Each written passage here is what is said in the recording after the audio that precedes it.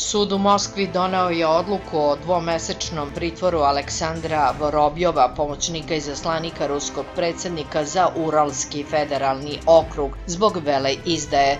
Sud je zasedao iza zatvorenih vrata kako ne bi bila ometana istraga. Javnost je obaveštena samo o početku procesa tokom kojeg je osumnjičeni pod maskom saopštio da je pomoćnik i zaslanika ruskog predsjednika za Uralski federalni okrug i zatražio da se upozna sa materijalom materijalima o svom slučaju. Na sajtu Uralskog federalnog okruga saopšteno je da je Vorobjov rođen 30. aprila 1980. godine, a da je od 2010. do 2017. bio na rukovodećim mestima u administraciji Kaljingradske oblasti. Od januara prošle godine rukovodio je aparatom pomoćnika predsjednika Rusije Nikolaja Cukanova. Za pomoćnika i zaslanika imenovan je u julu 2018 jeste. To je prvi slučaj od raspada SSR-a da je neko u Rusiji uhapšen pod optužbom za vele izdaju. Sud je Vorobjovu izrekao pritvor dok se ne završi istraga.